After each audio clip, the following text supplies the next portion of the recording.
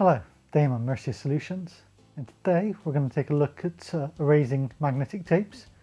We're going to use a 9-track tape drive and also an LTO library.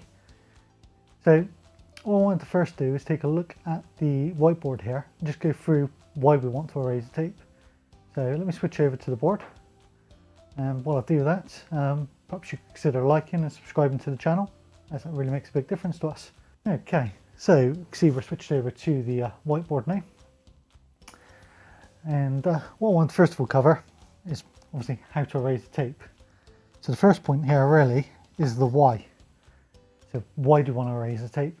Normally with a tape you can just overwrite it, carry on writing data straight over the top of the existing data.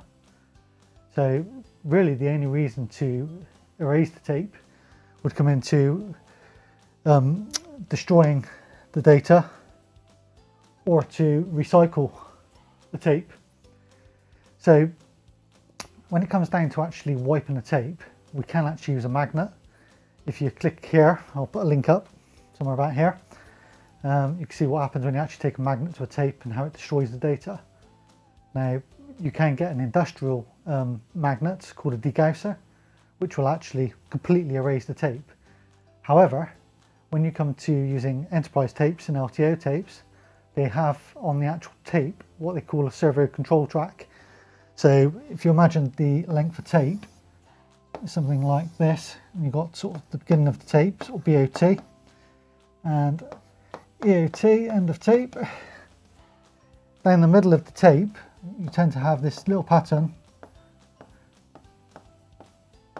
It goes all the way down and this is used by the drive to actually know whereabouts this tape is actually positioned in relation to the tape heads. So the data tracks are written down here on the tape and then the bottom. So if we actually take a magnet to the tape, what we actually achieve is completely uh, scrambling all of this uh, data here, including the actual uh, servo uh, control tracks, which basically renders the tape useless um, and in essence destroys the tape. So let's move on quickly. So some of the other options then come down to actually uh, using maybe a specific tape eraser. So here you can get uh, drives that are specially adapted uh, where you can actually leave the cartridge in and it will go through and actually overwrite all of the data, erasing it. Alternatively, you could actually shred the tape. In this case, it literally shreds it into lots of little pieces. The problem with that is you end up with lots of strips of tape that still contain data. So in that case, it may make sense to degauss first, then erase the tape to ensure it's destroyed. Now, if the tape's encrypted, the encryption key would normally stay with the drive and the server that's wrote the actual tape, in which case the data then on the tape is completely useless without that key. And as long as you're using a strong encryption, um, it's virtually, uh, well, should be unretrievable. So let's jump into this. What I'm first of all going to do is show a uh, quick erase um, on a 9 track tape and also on the LTO drive. Um, we've got a Windows machine uh, with Windows 11 on and we've actually got Cygwin along with MTX loaded on there so we can actually control the robotic library, load the tape into the drive and then use the MT command which is part of Cygwin to actually issue uh, commands to the drive. So we will do that on Windows and I've also got the 9 track reel-to-reel tape drive hooked up to a Linux machine where we'll also take a look at that and this is quite good because you can actually see the drive moving back and forwards we can actually see what's happening with the tape heads and the uh, tape, um, which gives an idea of what's actually going on inside a LTO drive. We're also then going to look at using and doing a full erase with MT. Now, quick warning here, if you do this on an LTO drive, you're liable for this to take five to six hours to complete, as the drive will write to the complete cartridge. But uh, let's jump into it and we'll take a look. Okay, we're back. We're connected up now. See over here, I've got the uh, 9 track tape drive And I've got the Linux command shell here. And we've got the tape device, which is ST0. So the first thing I'm going to do um, here is just rewind the tape. And what we'll do is just do the quick erase first of all, which now we're at the end of the tape, we can just say write end of file. And you'll see this is just write a file mark. You can see on the screen there, on the actual tape drive it said write FM, a file mark. And now basically, if I was to um, do a DD input file, well, first of all, let me uh, rewind the tape if I say dd input file slash dev slash nst0 out file equals demo txt we'll see straight away. No records in nothing's come back. Because we actually wrote on the very start of the tape nothing there. Now this doesn't actually wipe the tape. So the way to quickly erase the tape or to fully erase the tape is to actually uh, issue this command with erase. And we'll let that run. And what we'll see now is uh, you can see the driver's forward spacing erasing and this is going to go right the way through the tape you'll see that'll take a little while now with an LTO tape or with a larger tape this will take even longer an LTO drive could take five six maybe even seven hours um, to actually fully erase um, I've done a test here on my LTO drive. It took about five and a half hours to erase an LTO 7 tape. So let's come back in a minute when this is near the end of the tape. Okay, so we're almost uh, rewind. We should find is the uh, tape marker should go by in a minute and the drive virtually stop. There we go. I don't know if you noticed there's a little silver flash in the uh, top of the uh, drive as it went by which is actually the uh, tape marker there. Anyway, so we're now back at uh, the beginning of the tape. What I can do is actually issue a rewind. And tape's already rewind. And if we were to do a status, we can see we're at block zero. So that's how you completely erase a tape. Now I did say earlier on that we can actually do the quick erase, but if we do that, it's possible to get data back. So let me have a quick look here. I think I've got a couple of uh, test documents. So I've got a uh, demo. Um, me go into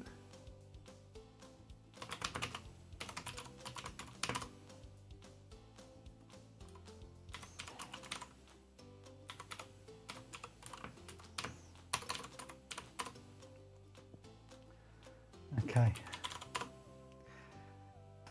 Okay, let's have a look here. I've got a file um, called text.txt.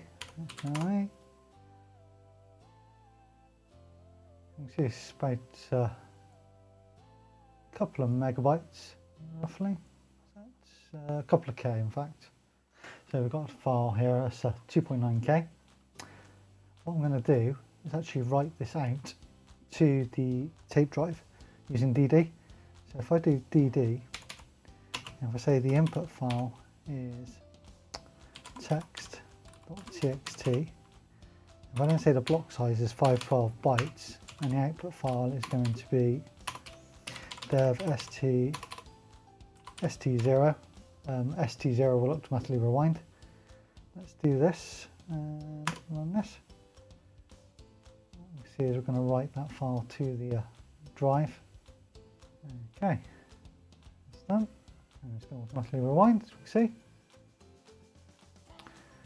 So you can see there we've actually wrote um, 5000 694 records plus the file mark. And so actually 2.9 megabytes right there. So what I'm going to do onto the tape, I'm going to use MT and the choose our up arrow here.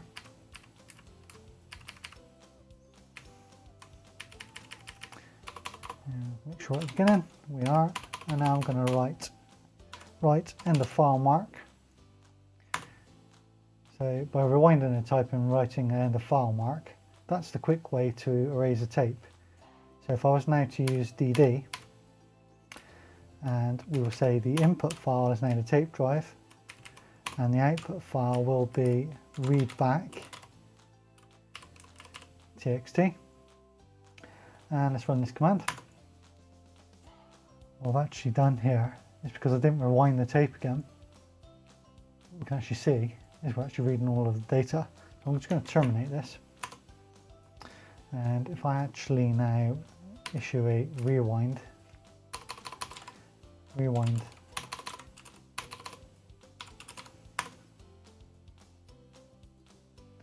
Okay, so we're back at the beginning of the tape. So now let me run the DD command yet again.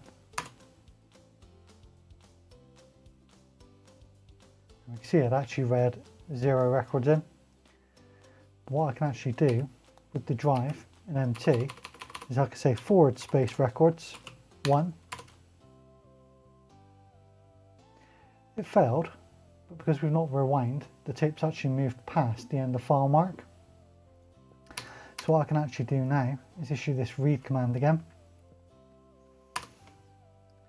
what we'll see now is we can actually read the entire tape, all of the data, bar what we've deleted, off the start by writing a file mark, back. I'll come back in a second when this is done. Okay, so we can see it's uh, completed here. So you can see here, even writing a file mark, we actually only lost uh, 12 512 byte records from the file because um, we've managed to read back um, 5682 records. So you can see with a quick erase it doesn't actually get rid of the data at all. So let's uh, change over to Windows 11 and we'll have a quick look at the LTO drive and just show you the same commands using Cygwin. Back in a minute. Okay, welcome back. We're connected to Windows 11 on the Windows 11 machine. I'm just going to Device Manager, show our setup. So we've actually got a uh, couple of uh, LTO7 tape drives and these are actually inside a uh, Quantum iScaler i3 library. So on Windows 11 here we've got the MTX command uh, which we can use with command prompt to load cartridges in the library and for the Unix utilities or the ways to issue the same Unix commands under Windows to the block device, we've installed Cygwin. Um, if you'd like to learn how to install both of those, take a look at the earlier videos in the series. Um, I'll put a couple of links up above here as well for you to click on so you can learn how to set the machine up like this. So I've already loaded a tape into the drive.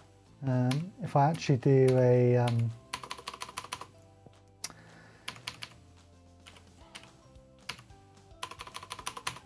status, um, we can see that uh, tape 1 or ST1 here is actually at the beginning of the tape. So again, to do a quick erase on this tape, all we would do initially is issue a rewind, rewind the tape, and then we'd write end of file. As quick as that, uh, we've then wrote a file mark to the tape, which will then basically actually stop us from reading back any data. So if I was to rewind the tape again, and we can then do a DD and say input file equals dev slash st1. The difference between nst1 and st1 is the n is basically no rewind, so it doesn't actually rewind after the operation and we'll say output file equals demo lto.txt and we can see we've actually read zero records back there because straight away it's found the uh, file mark or end of file. Now to actually fully erase the tape we can issue a rewind and the command to erase we can actually say erase. Now it is possible with erase to put a zero on here uh, which should signify um, a quick erase. Um, this again still takes a very long time. I'm not actually going to run this because it will take over five hours to complete on the LTO7 and once you run this command you cannot abort it because it basically issues the command to the drive um, it tells the drive to erase the whole tape. So even rebooting the machine um, doesn't abort this. So you've been warned. So what we will do though on the tape, now we've got it rewind, is uh, think I've got a text file here. Um, and I have, let's uh, do a quick look here, look at cat on tape.txt. So I've got some uh, text here and what I'll basically do is just write that text out to the LTO again so if we do dd and we'll say the input file is going to be tape.txt and we'll say the block size again 512 normally you'd have a much bigger block size but I want lots of records on the uh, tape. And the out file is going to be slash dev slash st1 and we'll say go so this will transfer that to the tape. Take a few seconds. Okay so can see we've wrote uh, 28 kilobytes there which was uh, 54 records. So what I'm going to now do is uh, read the tape back in. So if I do dd input file equals slash dev slash st1 out file equals um, read demo 60. You see I've read that back Again, these drives do have um, about a gigabyte of uh, cache on there. So in essence, I don't think the tape's probably moved at all. It's probably all come from RAM chips. So what I'll just do is a quick uh, cat on read demo.txt. So you can see we've got the file back. So let's first of all rewind the tape. So f slash dev slash st1 rewind. So what I'm going to do now is write end of file. Okay, so that's written. We'll just issue a rewind again. And now if I try and do the DD read demo 2, straight away we get nothing back because we're at the end of the tape or end of file. Let's try and forward space. Forward space record uh, 10. And